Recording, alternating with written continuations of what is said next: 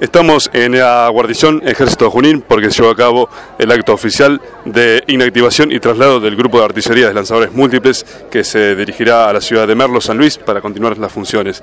Y nos acompaña el teniente coronel Leonardo Javier Enzupa, jefe de este grupo de artillería de lanzadores múltiples, y Agustina Mía, secretaria de Gobierno en representación del Gobierno de Junín. Leonardo, ¿qué siente en estos momentos?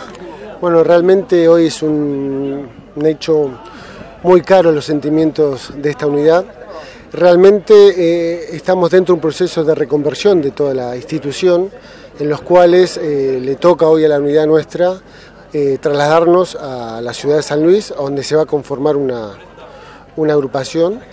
Y bueno, gran parte de todo el material que ustedes ven y que los acompañó durante todos estos años acá en la ciudad de Junín, el material se va, pero el personal, por supuesto, sigue conviviendo con ustedes en la ciudad de Junín. Solamente una pequeña parte de, personal se va a San Luis y el resto va a quedar con ustedes compartiendo, por supuesto, como lo hemos hecho estos últimos cuatro años, por lo menos en mi gestión.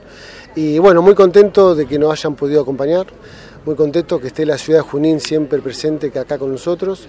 Y bueno, eh, de mi parte, mandarle un fuerte abrazo a todos los ciudadanos eh, y agradecerles por el apoyo que me han dado como jefe de unidad. Bueno, Agustina también, ¿qué palabras tenía al respecto? No, simplemente eh, muy contento de estar acompañando a Leonardo eh, en este momento. La verdad que en, este, en esta ocasión, más allá de la organización o reorganización del ejército, nuestro acompañamiento en este caso es a su persona.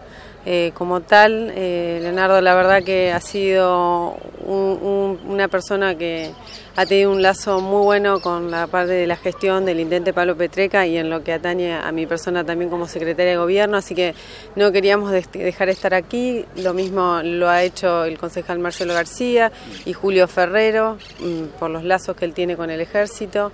Y simplemente eso, queríamos estar aquí presentes eh, representando al intendente para que Leonardo sepa que, tiene y ha tenido todo nuestro apoyo y que le deseamos el mayor de los éxitos en, en su continuidad de su carrera militar.